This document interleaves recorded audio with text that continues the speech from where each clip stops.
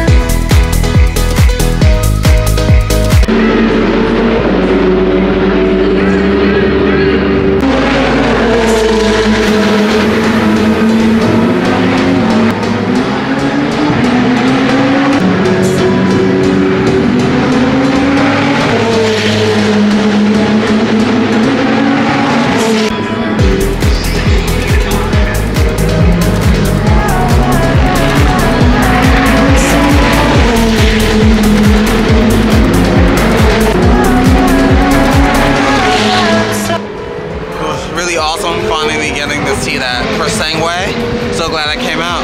Thank you guys for watching. I'll see you guys next time. Peace.